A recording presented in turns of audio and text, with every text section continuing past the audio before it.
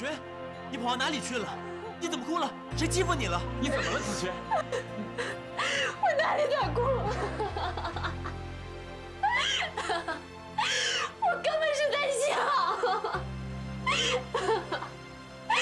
我在笑我自己，我在笑这个世界，我在笑那个自作聪明的王子璇。是纯洁无瑕的，其实人家根本当他是别人找过的旧妻子。子璇，发生什么事了？是古玉农吗？他又来找你麻烦了？难道你们没有这样想过吗？想过什么？想过什么呀？你们对我又抱有什么样的心态呢？反正我王子轩就是怕了心汉，王子轩就是人性妄为，但他豪放，他的感情根本不需要尊重，是不是？是不是？你今天是怎么了？你没有喝酒，为什么讲话语无伦次、疯疯癫癫的？搞不好中了邪，冲犯了什么鬼神呢？对，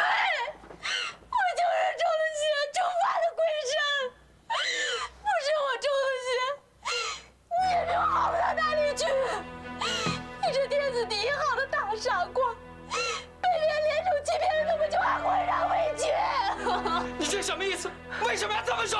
你难道不明白吗？你那温柔可人的杜芊芊，难道一点迹象也没跟你表明吗？你不是上他们家去过了吗？难道他一点实话也没告诉你吗？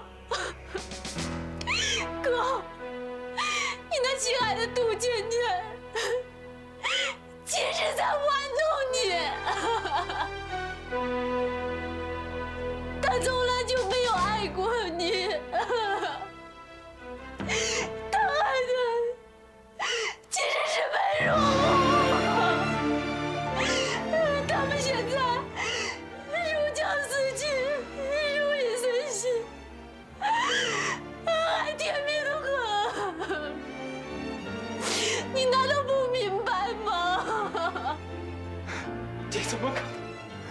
能？这怎么可能？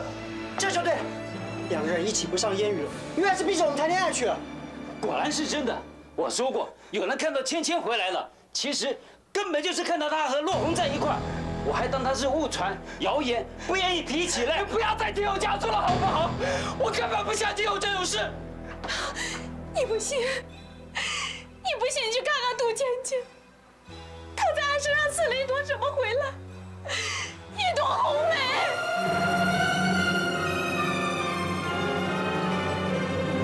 哥，你不要再为他痴迷了，你醒一醒好不好？红梅，什么红梅？你从来没有见过这件事，对不对？但是千真万确的事情。红梅，红梅代表的就是梅若红。杜芊芊已经把梅若红刻在他的心板上了。啊你听清楚，那不是画的，那是刻的，那是用针。一针一针刺进他的肉里的。你说的是刺青吗？我听说上海有人会这玩意儿。芊芊到上海，难道就是为了做这件事吗？这样怪异的行为，我还以为只有我们最马花会的人才做得出来。这杜芊芊是那样的一个乖女孩，怎么会这样做呢？看来他爱梅若红，真正是刻骨铭心呐。你怎么知道？你怎么知道？你说清楚！是芊芊告诉你，还是如红告诉，还是你亲眼看见的？虽然不是自己亲眼看见的，也等于是亲眼看见的。我已经看见了梅若红为芊芊画的那幅画像，那朵红梅就嵌在了芊芊胸前靠心脏的肌肤里。梅若红也亲口向我承认了。杜芊芊为他刺了一朵红梅回来，所以他们就相爱了他们就什么都不顾了。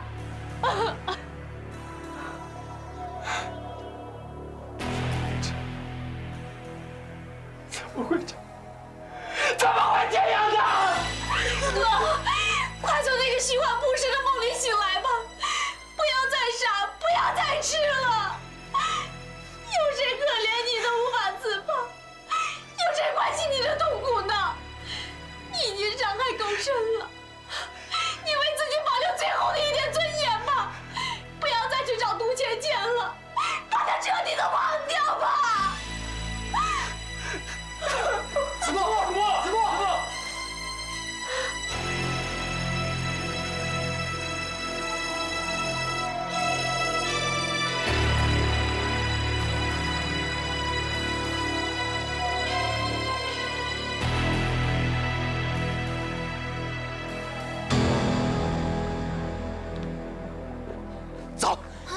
我去说清楚，在你们家恐怕不方便，我们到外面说去。走。子墨，子墨，你放开我！你抓的我好痛啊！子墨，子墨，子墨，你让我自己走吗？你抓的我好痛哦！知道什么叫痛？如果您体会到此时此刻我心里痛苦的万分之一，你就不会认为这叫痛了。你给我走！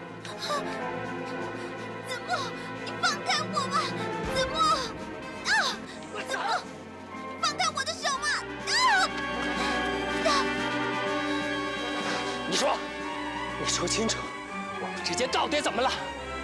你突然避而不见，跑到上海去，又是为了什么？你说，真的是为了你爹你娘吗？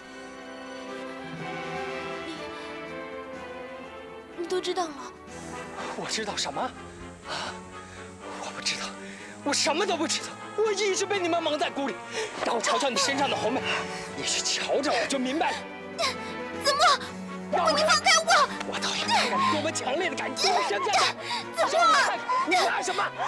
你一阵阵的刺在身上，不就是要世人宣告你伟大的爱情吗？子墨，不要这样子，不要这样，我求求你不要这样子，子墨，子墨，啊！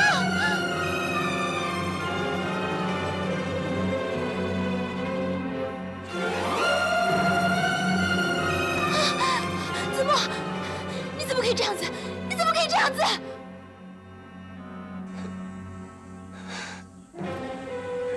然是一朵红，或者血泪刺成的一朵红梅。你已经爱得有这么深，有这么深了。我对不起你。上次你来我家，我就想跟你说明一切了，但是我娘一再堵住了我的口，不让我说。这些日子以来，我一直处在很低落的情绪中。你也照顾我，对我很好，我真的很感激。感激？你居然用“感激”这两个字？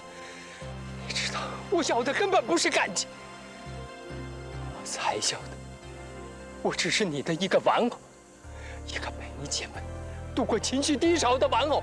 不是的，子墨，不是这样子的。还是你根本无视我对你投入的感情，认为我可以想放就放，想收就收？不，不是的。我知道你对我用情很深，我几次想要对你说明实情，却几次话到了嘴边又说不出口，实在是怕伤害了你啊。但是我现在想清楚了，我再不悬崖勒马不行了。趁着大家还没有掉到谷底以前，赶快让你知道真相。我想，这种伤害一定比将来大家粉身碎骨的伤害来得轻微多了，是不是？你以为我还在悬崖上？我告诉你，来不及了，我早就跌入谷底，我早就被你伤害的粉身碎骨。不会的，子墨，这绝对不是世界末日，对不对？你一定还会遇到比我更好、更适合你的女孩的。那是因为你还没尝过被欺骗、被利用、被玩弄的滋味，那种滋味充满了愤怒，充满了怨恨，充满了不平。我从来没有想过要欺骗你啊，更不要说利用了。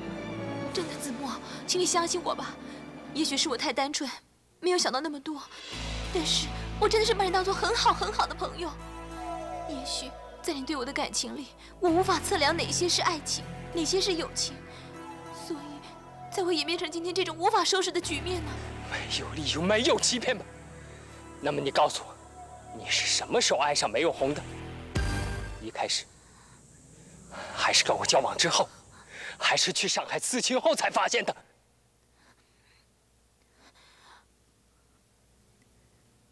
一开始，一开始你明知道，你怎么还能跟我那么大的幻想，那么大的期待？你一开始爱的是他，你怎么能还能瞒着我跟我交往，让我越陷越深，让我的感情越付越多，直到收不回来，再狠狠的一脚把我给踢开？如果你一定要利用一个人来气出梅若红的感情，那你也没有必要找上我王子墨。随便找一个男人给你演演戏不就好了吗？你怎么能这样？怎么能这样有预谋的陷我于万劫不复呢？子墨，我完全是无心之过，绝不是什么预谋啊！你根本没有把我王子墨当人看，是人都会受伤的，你不知道吗？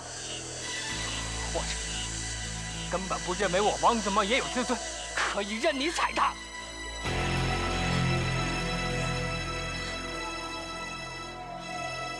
自信不是像古一龙那样钻牛角尖的人，我也相当明白，感情是不能强求，感情也会褪色的道理。所以，如果你在跟我交往之后，发现我们不合适，才又爱上梅永红的，那我也只好知难而退。我的愤怒也不会这么多，我的不平也不会这么深，你知不知道啊？我知道，我现在才比较知道，太迟了，是吗？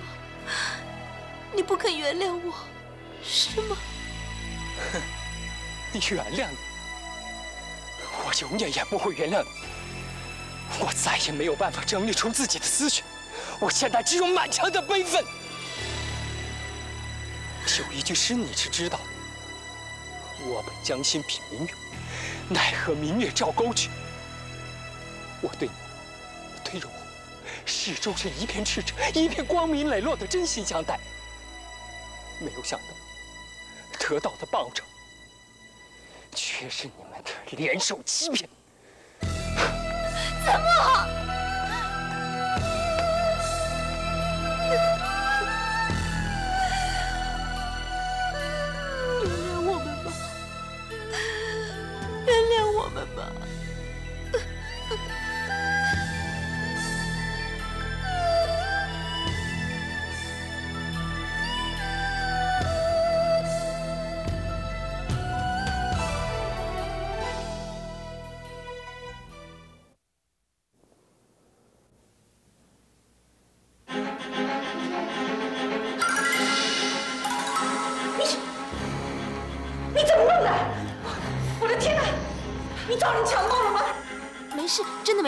不要管我，没事的。啊！你受伤了，流血了？没有没有，真的没有吗？你弄得这样乱七八糟的回来，还说没有？有没有其他下人瞧见呢？走到房里去。说，发生了什么事？谁欺负你了？是谁？谁那么大胆，敢在光天化日之下对你强行非礼？娘，真的没有，没有人欺负我吗。衣服都扯成这样了，还说没事？难道是汪子墨，还是梅若红？芊芊，不要怕，事情该怎么办就怎么办，娘会替你做主的。你是娘的女儿，是不是？你放心，再怎么样，娘都站在你这边的。最重要的是，你一定要说实话呀！胸口？你受伤了是不是？给娘看看，娘看看，娘看看。不是不是的，娘，不是你想的那件事了。王子墨他不是要对我不礼貌，他不是那种人，他不过是想看我身上这朵红梅罢了。好，好，我给你看，就是这朵红梅嘛。这什么东西？一朵红色的梅花。天哪！我懂了，是梅若红帮你画上去的。所以汪子墨很生气，所以他们两个男人为了你争风吃醋，大打出手了。你疯了！你怎么让梅若红在你这个地方画梅花呢？你真的是疯了！那就赶紧把它洗掉，走，我们到洗澡间把它洗掉。娘，洗不掉了，这是刺青，洗不掉，这是刺青，这是我请上海一个懂绘画的师傅帮我纹上去的，永远都洗不掉了啦。为什么洗不掉呢？怎么可以洗不掉呢？那用肥皂洗，用漂白剂漂呢？用用药草泡呢？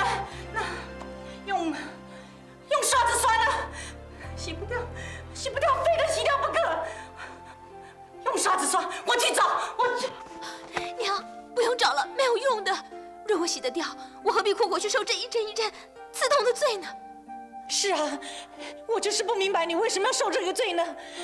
难道你要带着这个罪去嫁人？对，我就是要带着这个罪去嫁人。我要带着这个鲜明的罪，我就只能嫁给唯一的一个人，那就是梅若红。这段日子以来，我太痛苦，太痛苦了。我必须这么做，才能让你们明白，我要和若红厮守在一起的决心有多大，也才能让若红了解。我对他的爱是坚定不移、刻骨铭心的。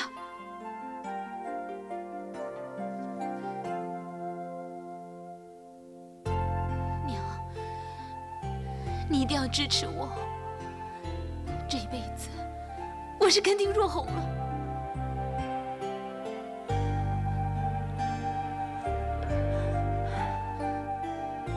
娘，我和若红经过这段时日的煎熬。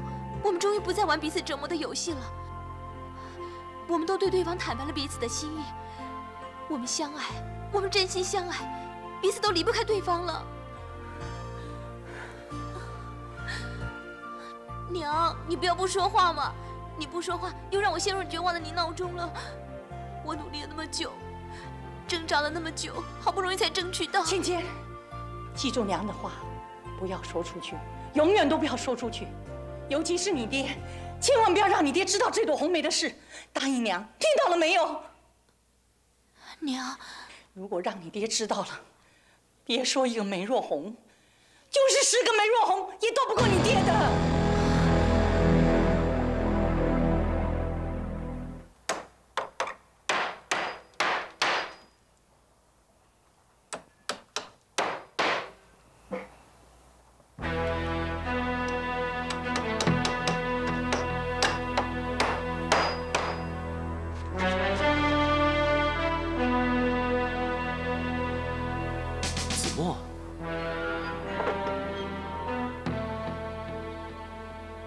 上烟雨楼找你呢，哼，是，我还以为你打算躲我一辈子呢。我不是那种人，我敢做就敢当，我会把事情的始末跟你说清楚。事情的始末，不过就是我栽了，栽在明枪易躲，暗箭难防上。我一直以为你是个光明坦荡的人，却再也料不到你是如此的阴险。我走阳关大道。你钻山间小径，你你为什么不管明着，定要过暗奏呢？不，请你不要误会我，不管是明的暗的，我真的不是有意的。我一直在努力避免这件事情的发生，可是我尽了力，却仍然失败了。总之我没有办法，我没有办法抗拒芊芊带来的那股强大的力量。你不要自圆其说了，我只要确实的印证一件事，那就是从头到尾。你就这么深爱芊芊的，是不是？是的，我深爱着她。没有，你神，你能，你有办法，你有魅力。芊芊要爱你，我没有话说。但是，你从头到尾就言行不一，说话不算话，两面做人。你不觉得你这样做太卑鄙、太可耻了吗？当初口口声声说他是绝缘体的是谁？说他要退出比赛的是谁？一天到晚恭喜我和芊芊早成好事的又是谁？你既然那么爱他，为什么不讲理？何必装大方？莫非你是在给我耍心机，故意让我不设防，故意让我栽这么大的筋头？我们相知相交五年来，以你对我的了解，我会是那种有心机的人吗？所以我说我看错了你，交错了朋友。你没有看错我。我仍然是你认识的那个梅若红。只是在我内心深处有一些自卑怯懦的成分，是你看不到的。我曾经就是因为这些自卑怯懦的成分作祟，我怀疑自己不能给芊芊幸福，我一直逃避着不敢去爱她。可是子墨，我现在还能够再逃吗？换做是你，一个女人，为了你在自己身上刻上了你的姓氏、你的印记，你还能够再逃吗？如果你没有对芊芊表示什么，没有诱惑她、追求她，天底下哪一个女人会有这么大的勇气，去为一个男人刻上忠诚的印记？